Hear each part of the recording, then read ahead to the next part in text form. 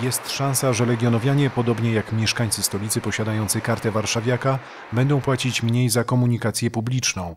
Warszawski Zarząd Transportu Miejskiego zaproponował podstołecznym gminom nową ofertę Warszawa Plus. Normalny bilet miesięczny obowiązujący zarówno w pierwszej i drugiej strefie kosztuje obecnie 210 zł. Po wejściu w życie oferty Warszawa Plus pasażerowie płaciliby za niego 196 zł. 14-złotową różnicę musiałyby pokryć samorządy.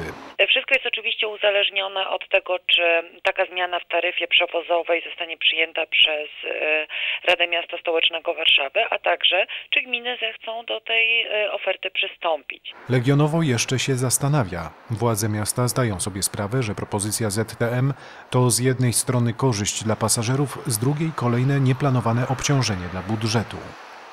Analizujemy tę propozycję, e, analizujemy również jej koszty, bo będzie to w skali miasta wydatek e, rzędu co najmniej między 800 a milion złotych, między 800 tysięcy a milion złotych. W związku z tym musimy się poważnie zastanowić, czy taki wydatek e, w tej chwili nas stać. Bo tylko w tym roku miasto dopłaci do biletów blisko 5 milionów złotych. Jeśli propozycja ZTM zostanie przyjęta, poza pieniędzmi trzeba będzie jeszcze znaleźć sposób na weryfikację osób uprawnionych do korzystania ze zniżki.